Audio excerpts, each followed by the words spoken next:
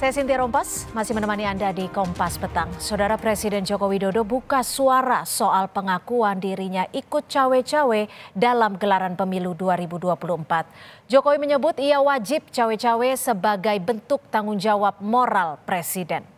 Usai rapat kerja nasional PDI Perjuangan, Jokowi menyebut proses transisi kepemimpinan nasional berpotensi memunculkan riak-riak persoalan.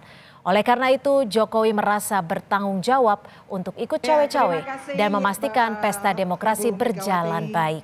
Bapak Presiden. Cawe-cawe itu sudah saya sampaikan bahwa saya cawe-cawe itu uh, saya sampaikan bahwa menjadi kewajiban moral, menjadi tanggung jawab moral saya sebagai presiden dalam masa transisi kepemimpinan nasional di 2024 ya harus menjaga agar isi kepemimpinan nasional serentak pilpres itu berja bisa berjalan dengan baik tanpa ada riak-riak yang membahayakan negara dan bangsa.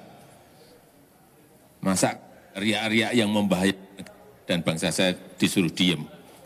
Enggak lah.